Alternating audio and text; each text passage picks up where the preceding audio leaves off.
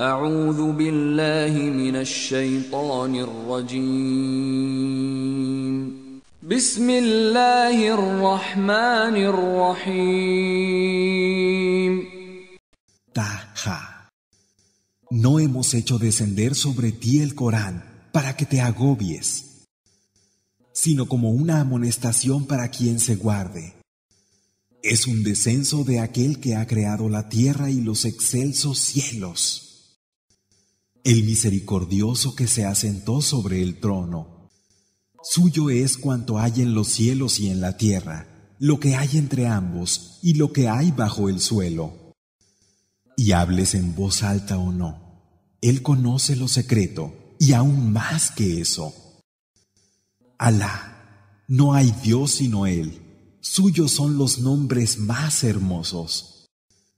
¿Te ha llegado el relato de Moisés? Cuando vio un fuego y dijo a su familia, permaneced aquí, he divisado un fuego y tal vez pueda traeros alguna brasa o encuentre en él alguna guía. Y cuando llegó a él, oyó una llamada. Moisés, yo soy tu Señor. Quítate las sandalias, pues estás en el purificado valle de Tuwa.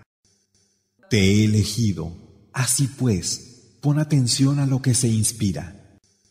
Yo soy Alá. No hay Dios excepto yo. Adórame y establece la oración para recordarme. La hora vendrá con toda seguridad, y casi la tengo oculta para mí mismo, para pagar a cada uno en lo que se haya esforzado. Que no te aparte de ella quien no crea en ella y siga sus pasiones, pues te perderías. ¿Qué tienes en tu mano derecha, Moisés? Dijo, es mi bastón, en él me apoyo, con él vareo los árboles para mi ganado y en él tengo otras utilidades. Dijo, tíralo Moisés. Lo tiró y era una serpiente que reptaba con rapidez. Dijo, tómalo y no temas, lo devolveremos a su forma original. Ponte la mano bajo el brazo y saldrá blanca, sin que sea debido a ningún mal. Será otro signo es para mostrarte parte de nuestros grandes signos. Ve a Faraón, pues realmente él ha sobrepasado todo límite. Dijo, Señor mío, abre mi pecho, haz fácil mi misión y desata el nudo de mi lengua, para que puedan comprender lo que digo. Y dame a alguien de mi familia que me asista, mi hermano Aarón fortalece mi espalda con él y asóciale a mi misión para que te glorifiquemos mucho y te recordemos mucho. Es cierto que tú nos ves. Dijo, tu petición te ha sido concedida, Moisés. Ya te habíamos agraciado en otra ocasión, cuando inspiramos a tu madre lo que le fue inspirado ponlo en la canasta y déjalo en el río. El río lo arrojará a la orilla y será recogido por un enemigo mío y suyo. Deposité en ti amor procedente de mí, para que te criaras bajo mi mirada. Cuando fue tu hermana y dijo, ¿queréis que os muestre quién puede criarlo? Y te devolvimos a tu madre para consuelo de sus ojos y para que no se entristeciera y mataste a una persona y te salvamos del aprieto poniéndote a prueba. Estuviste unos años entre la gente de Madián y luego, por un decreto, viniste Moisés. Y te elegí para mí.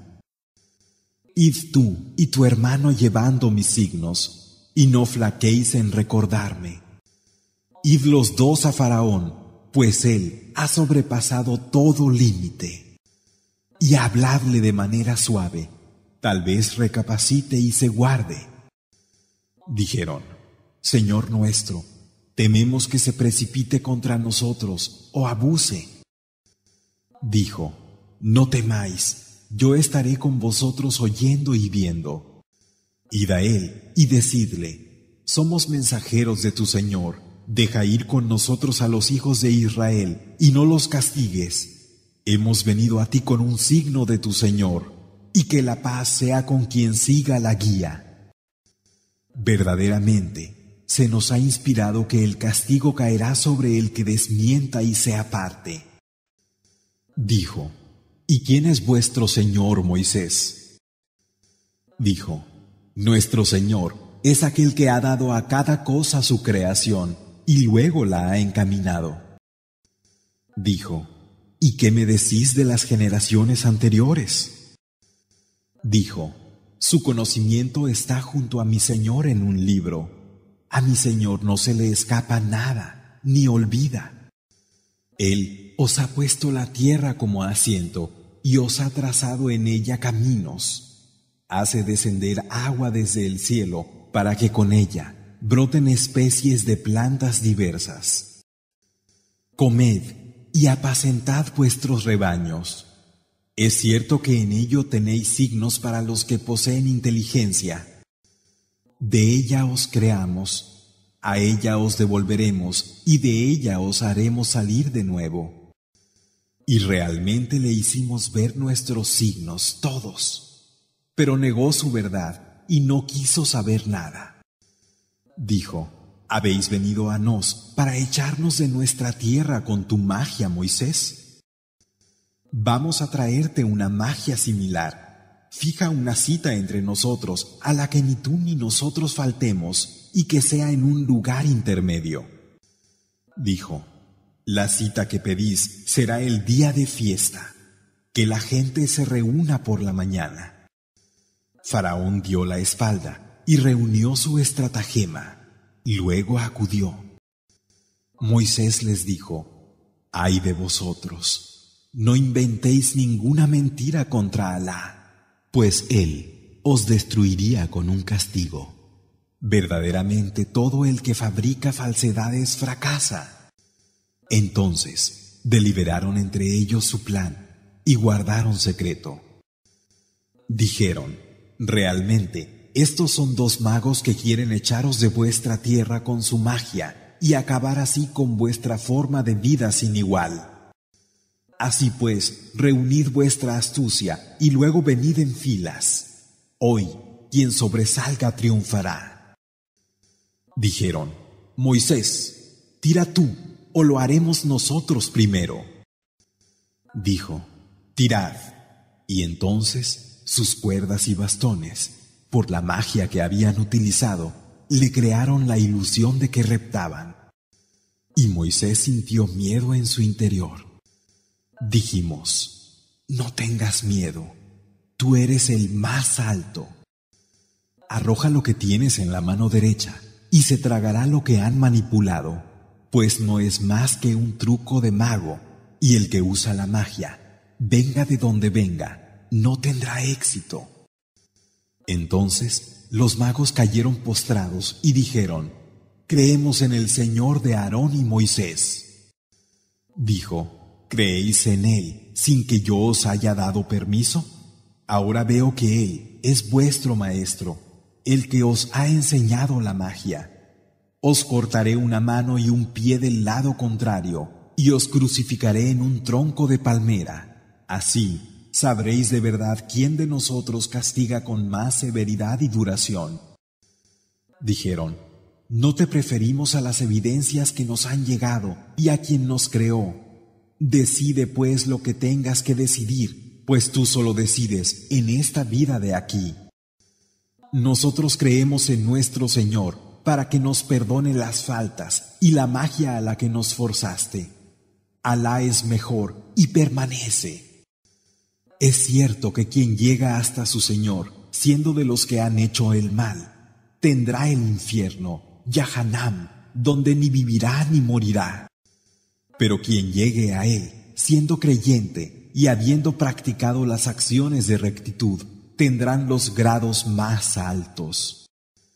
Los jardines de Edén por cuyo suelo corren los ríos, allí serán inmortales. Esa es la recompensa de quien se purifica. Verdaderamente, inspiramos a Moisés. Vete de noche llevándote a mis siervos y ábreles un camino seco en el mar, y no tengas miedo de que te alcancen, ni tengas temor. Faraón los siguió con sus ejércitos, y cómo los cubrió el mar. Faraón extravió a su gente y no la guió. Hijos de Israel, os salvamos de vuestro enemigo y os dimos cita en la ladera derecha del monte, e hicimos que descendiera sobre vosotros el maná y las codornices. Comed de las cosas buenas que os damos como provisión, y no abuséis de ello, pues entonces se desataría mi enojo sobre vosotros, y aquel sobre quien se desata mi enojo cae en lo más bajo.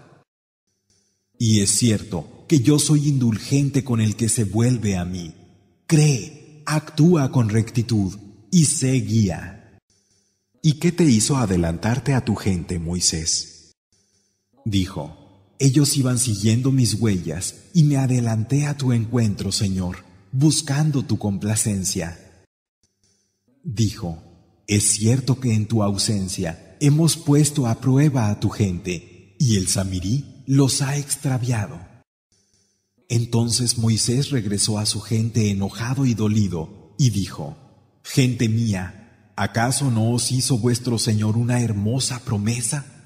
¿Se os ha hecho largo el plazo, o es que queréis que el enojo de vuestro Señor caiga sobre vosotros? ¿Habréis incumplido lo que me prometisteis? Dijeron, No hemos faltado a la promesa que te hicimos por iniciativa propia sino que nos hicieron cargar con el peso de las alhajas de la gente y las arrojamos como hizo el Samirí. Y les hizo la figura de un becerro que mugía. Dijeron, Este es vuestro Dios y el Dios que Moisés olvidó. ¿Es que no veían que no les contestaba, ni tenía el poder de perjudicarles o beneficiarles? Aarón ya les había advertido, gente mía, con esto solo se os está poniendo a prueba. Realmente vuestro Señor es misericordioso. Seguidme y obedeced lo que os mando. Dijeron, no vamos a cesar de estar dedicados a su culto hasta que no regrese Moisés a nosotros. Dijo, Aarón, ¿qué te impidió seguirme al ver que se extraviaban? ¿Es que desobedeciste mi orden? Dijo, Hijo de mi madre, no me agarres por la barba ni por la cabeza. De verdad que temí que dijeras, has creado separación entre los hijos de Israel y no has esperado mi palabra. Dijo, ¿y tú, Samarí, qué tienes que decir? Dijo, he visto lo que ellos no ven, así que he tomado un puñado de la tierra en la que dejó sus huellas el mensajero y lo he arrojado esto es lo que me ha sugerido mi alma. Dijo, vete, durante toda tu vida tendrás que decir, no me toques. Y tienes una cita a la que no faltarás. Mira a tu Dios, ese al que te entregaste, lo quemaremos y esparciremos sus cenizas por el mar. Ciertamente vuestro Dios no es sino Alá, no hay más Dios que Él abarca todas las cosas con su conocimiento. Así es como te contamos algunas de las noticias de lo que pasó antes. Te hemos dado un recuerdo procedente de nos. Quien se aparte de él, el día del levantamiento, llevará una carga, en la que serán inmortales. Y qué mala carga será la suya en el día del levantamiento, el día que se soplará en el cuerno y en el que reuniremos a los malhechores, que ese día tendrán los ojos en blanco y el rostro ennegrecido. Hablarán entre ellos en voz baja. Solo estuvimos diez. Nosotros sabremos mejor lo que van a decir cuando el más certero de ellos diga, solo permanecimos un día. Y te preguntan acerca de las montañas.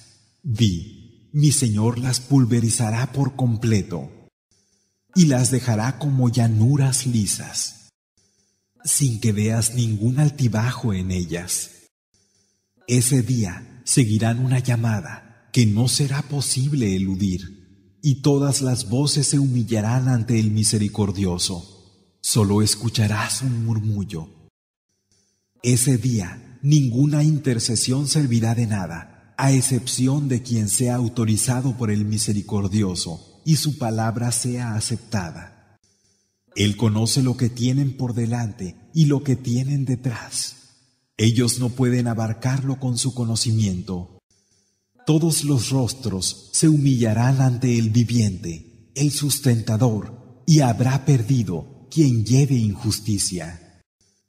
Pero quien practique las acciones de rectitud y sea creyente, que no tema injusticia ni menoscabo. Así es como lo hemos hecho descender, como una recitación árabe, y hemos reiterado en él promesas amenazantes por si se guardaban o les servía de exhortación. Y exaltado sea Alá, el Rey verdadero, y no te adelantes recitando antes de tiempo aquello del Corán que esté descendiendo sobre ti. Y di, Señor, concédeme más conocimiento. Ya hicimos antes un pacto con Adán, pero olvidó y no le encontramos resolución. Y cuando dijimos a los ángeles, postraos ante Adán, y se postraron, sin embargo Iblis se negó. Y dijimos, Adán, realmente, él es un enemigo para ti y para tu pareja, que no os saque del jardín, pues conocerías la penalidad. Verdaderamente en él no sentirás ni hambre ni desnudez, ni tampoco sufrirás la sed y el calor. Pero Satán le susurró diciéndole, Adán, ¿quieres que te diga cuál es el árbol de la inmortalidad y un dominio que no se acaba? Y ambos comieron de él. Entonces se les mostraron sus partes pudendas y comenzaron a taparse con hojas del jardín Adán desobedeció a su Señor y malogró lo que tenía. Luego su Señor lo escogió, se volvió sobre él y lo guió. Dijo, Descended ambos de él, seréis mutuos enemigos, y si os llega una guía procedente de mí, quien siga mi guía no se extraviará, ni será desgraciado. Pero quien se aparte de mi recuerdo, es cierto que tendrá una vida mísera y el día del levantamiento le haremos comparecer ciego. Dirá, Señor mío, ¿por qué me has hecho comparecer ciego si antes podía ver? Dirá, del mismo modo que cuando te llegaron nuestros signos los olvidaste, así hoy eres tú olvidado. De esta forma, pagaremos a quien se haya excedido y no haya creído en los signos de tu Señor. Y el castigo de la última vida es realmente más severo y más duradero. No les sirve de guía ver cómo antes de ellos destruimos generaciones enteras por cuyas moradas caminan. Es cierto que en ello hay signos para gente dotada de inteligencia de no haber sido por una palabra previa de tu Señor y por la existencia de un plazo fijado, habría sido inevitable. Ten pues paciencia con lo que dicen y glorifica a tu Señor con la alabanza que le es debida antes de la salida del sol y antes de su ocaso, así como en parte de las horas de la noche. Y en los dos extremos de la claridad diurna, glorifícalo también tal vez quedes satisfecho. Y no dirijas tu mirada hacia los placeres que hemos dado a algunos de ellos como flor de la vida de este mundo para ponerlos a prueba. Y la provisión de tu Señor es mejor y más duradera. Ordena a tu gente el salat y persevera en él. No te pedimos sustento, nosotros te sustentamos y el buen fin pertenece al temor de Alá. Y dicen, ¿cómo es que no nos trae un signo de su Señor? ¿Acaso no les llegó la evidencia de las primeras escrituras? Si les hubiésemos destruido por medio de un castigo antes de su venida, habrían dicho, Señor nuestro, ¿por qué no enviaste algún mensajero de manera que hubiéramos podido seguir tus signos antes de haber caído en la humillación y en la vergüenza? Di, todos estamos a la espera, así que seguid esperando, que ya sabréis quiénes serán los compañeros del camino llano y quiénes tendrán guía.